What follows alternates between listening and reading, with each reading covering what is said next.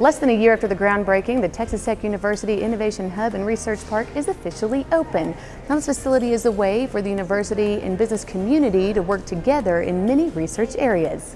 What a great turnout uh, as we celebrate the new Innovation Hub here at the Texas Tech University Research Park, which is really a, a key part of our vision for building Texas Tech University uh, to that next level as one of the leading innovation and entrepreneurial national research universities. All of those things were accomplished by delivering this LEED accredited 41,000 square foot sustainable facility. Internally to the building, you'll get to tour the facility. There's four 1,600 square foot um, lab spaces, which will be talked about in more detail probably later. Two activator labs right behind you in the glass. When you're in the lobby, you can actually see the work happening as it goes.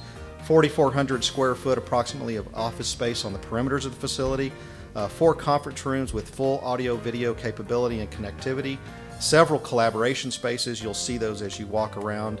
Uh, the atrium boasts a periodic chart on the wall, and of course, a Sam's Place is, or an eatery for uh, the food and beverage zone. The multi-purpose room, which we're in today, actually splits into three rooms, which was a key part of the programming team's need for their breakout small and large group functions.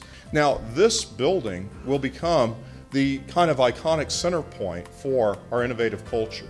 A lot of different dimensions of this uh, that have come together to create this innovation hub, and that's what about that's what the future is about.